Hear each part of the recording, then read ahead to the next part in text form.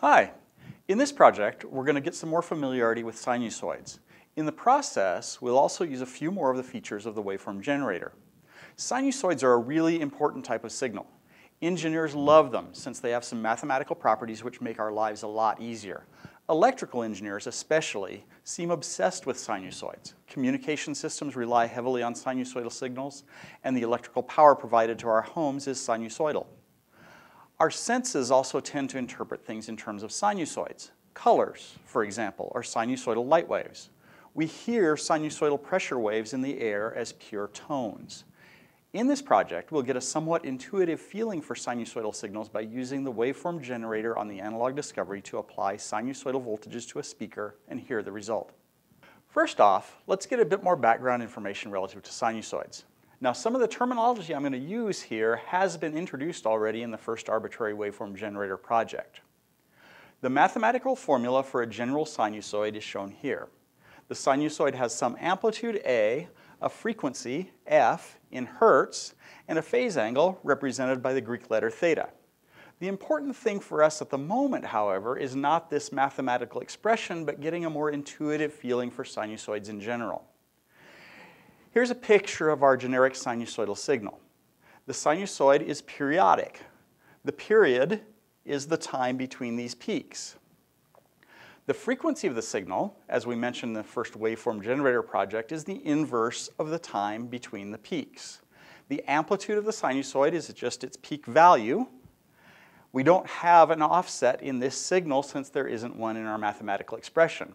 The phase angle just moves this signal back and forth along the time axis. For this project, we'll mostly be interested in getting a feeling for the effects of frequency on our signal. The circuit for this project is extremely simple. We just want to connect the terminals of channel 1 of our waveform generator to a speaker. Then the sinusoidal voltages created by the waveform generator will be applied to the speaker, causing a film in the speaker to vibrate, also sinusoidally, which creates pressure waves in the air which we'll hear as tones. We can implement our circuit using this little speaker from the analog parts kit. Simply insert the terminals of the speaker into the holes in your breadboard.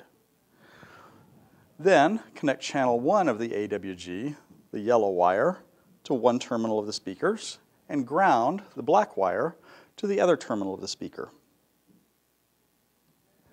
Remember that any voltage created by the analog discovery is relative to analog discovery's internal ground, so typically we'll have to connect ground to any circuit we build. This isn't the only way we can implement our circuit. There's also a headphone jack on the back of the analog discovery.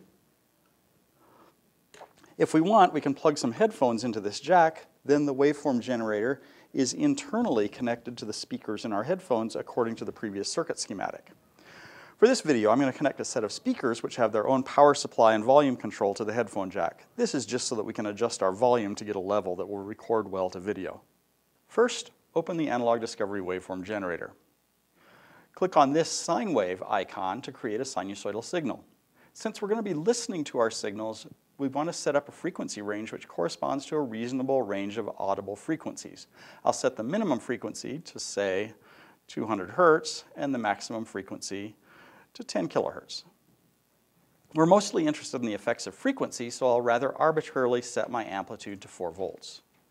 We want a zero volt offset since the sinusoids we've been looking at so far have a zero average value. Now select a low frequency, say 200 hertz, and click on Run AWG1 to hear our signal.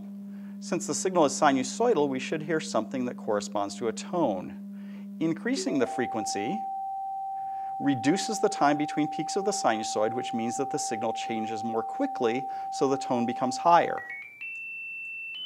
Alternately, reducing the frequency produces a lower tone. Now that we have some experience with sine waves, let's look at one way to have the waveform generator change the frequency for us according to some set pattern. One type of signal whose frequency changes with time is a sinusoidal sweep. These types of signals are also called swept sines or chirps. Swept sinusoids change frequency linearly with time. This plot shows a sinusoidal sweep. The frequency starts out low and increases with time. Changing the frequency linearly simply means that the rate at which the frequency is changing is constant. The Analog Discovery's waveform generator can very easily generate swept sinusoidal signals for us.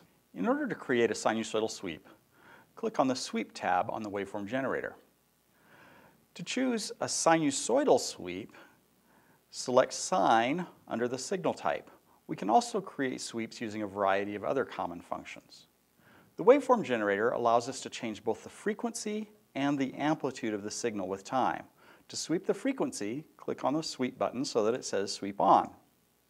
The parameters of the sweep are set in the frequency row. You choose the frequency range and the time over which the sweep occurs. Let's choose 200 hertz as our initial frequency, 10 kilohertz as our final frequency. Now we want our sweep to occur slowly enough so that we can hear the difference.